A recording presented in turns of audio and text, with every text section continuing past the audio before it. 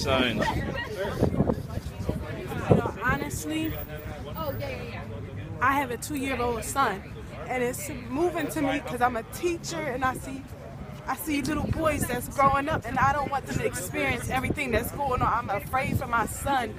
I'm afraid to have to speak to tell my son that he has to. He has to be careful because he's black.